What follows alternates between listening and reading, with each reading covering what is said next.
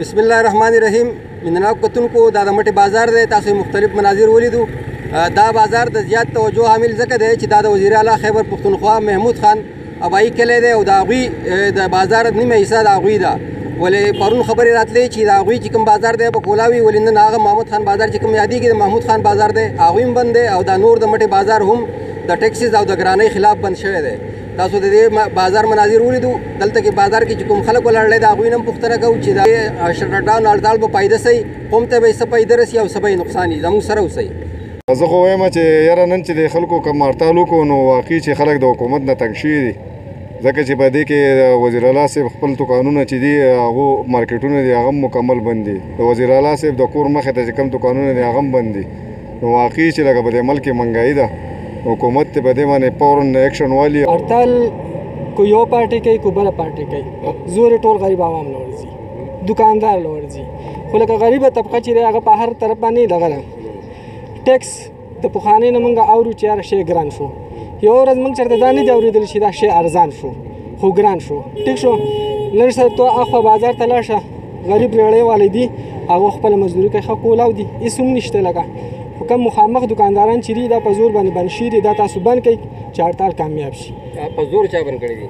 په زور یې هم د دې مټې چې څوک مشران یې هغه هم بند کړي که نه نور چا دي بند کړي زه هلته کې زه سهار رالم نه نه دا ټیک صاحب دا خو پار چاره په دې دوکاندار هم دی پار چاره د دې لپاره بندول پکار نه چې بند کړي نو کو بند شي نو په دې باندې به ټیکس واپس واخیستل شي ګوره مې د وزیر اعظم راغلی کاره پارټي وه موږ ویو د هرې پارټۍ حکومت دی خو داسې منګای کا نور که چا دی وایي چې موږ پیسې وویستې د چا نه یوه پیسه اخیستې ده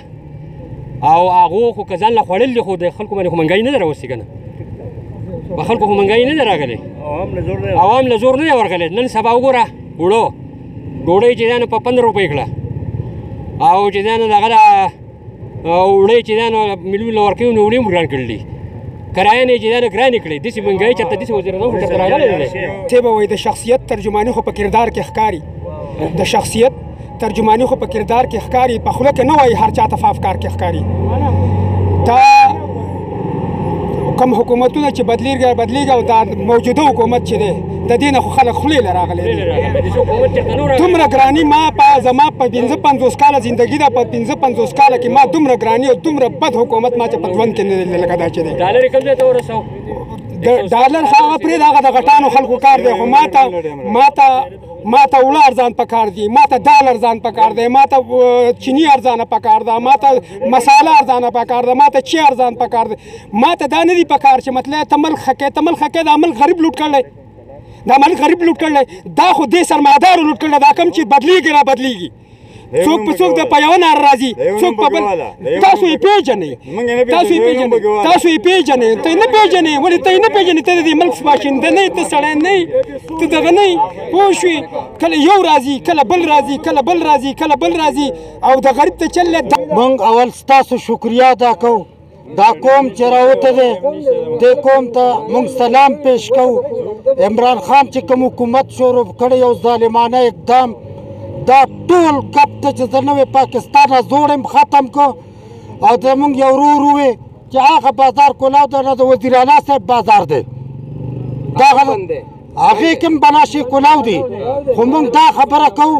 چې منګای د نواز شریف چې غل ده نن په جیل کې پروت دی موږ د نواز شریف ته پاټی نه لا اله الا الله